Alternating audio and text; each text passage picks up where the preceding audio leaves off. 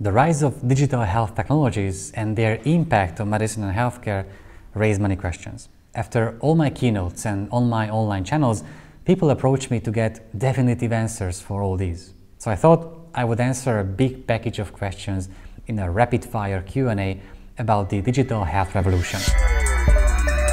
This is Bertalan Meskó, and you're watching the channel of the Medical Futurists. Will robots take my job in healthcare? For some of you, they will, but it won't be like a big takeover that we need to fear. Why not? Because an algorithm will never be able to practice medicine and deal with patients better than a physician. Will an algorithm ever be able to show empathy? It will be able to mimic it, and it's going to be pretty good at that. Can I enjoy the rewards of digital health without giving up some of my privacy? No, it's all about sharing at least parts of your data. So, is my health data going to be safe in the hands of companies? No, but you will be able to choose who you give access to. Will I be able to measure vital signs at home? You already can. Will doctors always have to see patients in person? Fortunately, no. In the digital health revolution, you will become the point of care.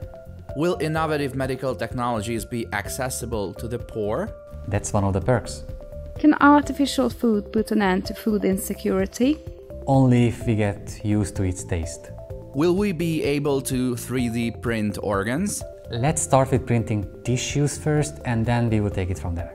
Can paralyzed people ever walk again? They may even run faster than ever. Shall I get my genome sequenced? If you can find an affordable and reliable service, absolutely. I've done it too. Will the medical tricorder from Star Trek become real? It's more or less real. Will we ever treat individuals based on their own DNA? It should already be the case by now. For how long will we test drugs on actual people? Until we introduce in silico clinical trials with artificial intelligence. Will virtual reality take over our lives? There is a big chance for that. Will there be operating rooms with only robots? There already are. Will we be able to transmit or read thoughts? We already can. There's a good example available connecting three people. Will we face overpopulation if people start living longer lives?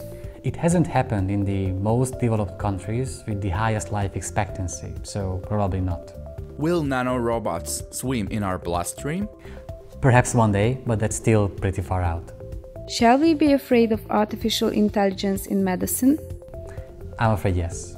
As of today, we can only hope AI will not destroy everything we cherish. I won. This is a good beginning of my plan to dominate the human race.